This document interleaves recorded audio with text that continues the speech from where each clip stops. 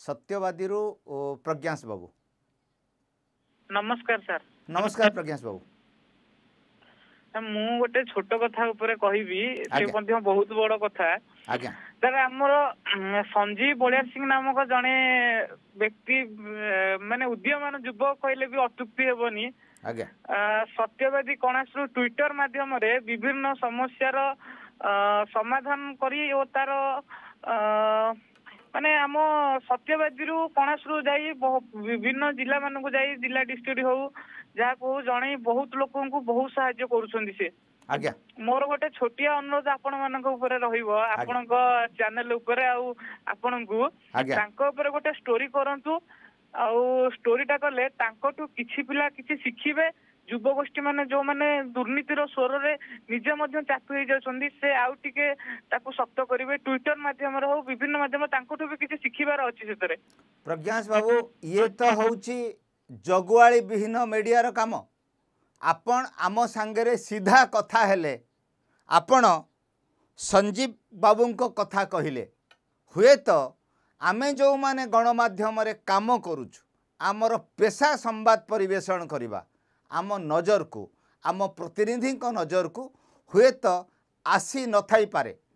ଆମର ଟେକ୍ନୋଲୋଜିରେ କାମ କରୁଥିବା ବନ୍ଧୁମାନଙ୍କୁ ମୁଁ ଅନୁରୋଧ କରିବି ତାଙ୍କର ଟ୍ୱିଟର କାଢ଼ିବେ ତାଙ୍କର ପ୍ରସଙ୍ଗରେ ଆପଣ ଯେଉଁ ତଥ୍ୟ ଦେଲେ ସିଏ ଯେଉଁଠି ଥାଆନ୍ତୁ ତାଙ୍କ ସହିତ ଯୋଗାଯୋଗ କରିକି ଯଦି ସମାଜ ଆଗରେ ଟ୍ୱିଟର ମାଧ୍ୟମରେ ସାମାଜିକ ଗଣମାଧ୍ୟମ ମାଧ୍ୟମରେ ଲୋକମାନଙ୍କୁ ସେବା କରିବା ପାଇଁ ବାହାରିଛନ୍ତି ତା ମାନେ ସିଏ ଟେକ୍ନୋଲୋଜିର ବ୍ୟବହାର କରୁଛନ୍ତି ଆଉ ଟ୍ରାନ୍ସପାରେଣ୍ଟଲି କରୁଛନ୍ତି।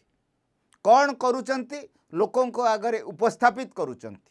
ସମାଜରେ ଆମର କୁହାଯାଏ ଯେ ସ୍କୁଲରେ ପାଠ ପଢ଼ିଲା ବେଳେ ଗୋଟେ ବହିରେ ପଠା ପଢ଼ାଯାଏ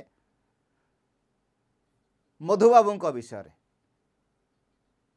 ପାଠ ସରିଗଲା ପରେ ସେ ଗାଁ ରାସ୍ତାକୁ ସମତୁଲ କଲେ। ତାକୁ ଶୁଣିକି ତାକୁ ପଢ଼ିକି ଯିଏ ସ୍କୁଲରେ ପିଲା ଅଛି ତା ମନରେ କେଉଁଠି ନା କେଉଁଠି ତ ଗୋଟେ ଉତ୍ସାହ ତିଆରି ହେଉଛି ମଧୁବାବୁଙ୍କୁ ଗୋଟେ ବଡ଼ ଲୋକ କରିକି ଦେଖୁଛି। ମଧୁବାବୁ ତ ବଡ଼ ଲୋକ କୂଳବୃଦ୍ଧ। ଓଡ଼ିଆ ରାଜ୍ୟକୁ ଛତିଶ ମସିହାରେ ସ୍ୱାଧୀନତା ପୂର୍ବରୁ ରାଜ୍ୟ ତିଆରି କରିବାରେ ତାଙ୍କର ସବୁଠୁ ବଡ଼ ଯୋଗଦାନ ରହିଛି। କିନ୍ତୁ ଆପଣ ଯେଉଁ ସଞ୍ଜୀବ ବାବୁଙ୍କ କଥା କହୁଛନ୍ତି ସିଏ ବଡ଼ ଛୋଟ କରିଛନ୍ତି ଛୋଟିଆ କଥା। ଆପଣଙ୍କ ନଜରରେ ଆପଣଙ୍କ ନଜରରେ ପ୍ରଜ୍ଞାସ ବାବୁ ସିଏ ବହୁତ ବଢ଼ିଆ କାମ କରୁଛନ୍ତି। ତାଙ୍କ ପ୍ରସଙ୍ଗକୁ ଦେଖାଯିବା ଉଚିତ ମୁଁ ନିଶ୍ଚିତ ଭାବରେ ଆପଣଙ୍କୁ ପ୍ରତିଶ୍ରୁତି ଦେଉଛି। ଏଉଠୁ ବାହାରିବା ପରେ ତାଙ୍କ ସହିତ ଯୋଗାଯୋଗ କରିବା ପାଇଁ ଚେଷ୍ଟା କରାଯିବ। ସେ ଯଦି ଟେକ୍ନୋଲୋଜିରେ ଯୋଡ଼ି ହେଇଛନ୍ତି ଟେକ୍ନୋଲୋଜି ମାଧ୍ୟମରେ ତାଙ୍କର ମତ ମନ୍ତବ୍ୟକୁ ନେଇକି ଲୋକମାନଙ୍କ ଆଗରେ ସିଏ ଯଦି ଭଲ କାମ କରୁଛନ୍ତି ତାକୁ ଦେଖାଇବା ପାଇଁ ଆମେ ଚେଷ୍ଟା କରିବୁ। ଆପଣଙ୍କୁ ଅଶେଷ ଅଶେଷ ଧନ୍ୟବାଦ। ଆପଣ ଆମ ଫୋରମକୁ ଆସିଲେ ଆଉ ଜଣେ ଲୋକ ଭଲ କାମ କରୁଛି। ସୋସାଇଟି ଆଗରେ ତାଙ୍କର କାମକୁ ଦେଖାଯାଉ। ଇଏ ପ୍ରସଙ୍ଗ ଉଠେଇଲେ ଏଇଥିପାଇଁ ତ ମୁଁ ଠିଆ ହେଇଛି। କାରଣ ସାଧାରଣ ଲୋକ ଆମର ଦର୍ଶକ ଆଉ ଅର୍ଗସ୍ ଭିତରେ କିଛି ପ୍ରତିବନ୍ଧକ ରହିବାର ଆବଶ୍ୟକତା ନାହିଁ। ଆପଣଙ୍କ ସହିତ ସିଧା କଥା ହେବୁ। ଆପଣ ଯେଉଁ କଥା କହିଲେ ଆମେ କିଛି ସମୟ ଭିତରେ ତାକୁ ଆମେ ଆପଣଙ୍କ ମୋବାଇଲ ସ୍କ୍ରିନ୍କୁ ଟ୍ରାନ୍ସଫର୍ କରିଦେଇପାରିବୁ। ଏ ପ୍ରତିଶ୍ରୁତି ମୁଁ ଆପଣଙ୍କୁ ରଖୁଛି। ନିଶ୍ଚିତ ଭାବରେ ଆପଣଙ୍କ ବନ୍ଧୁଙ୍କୁ ଆମେ ଦେଖେଇବୁ।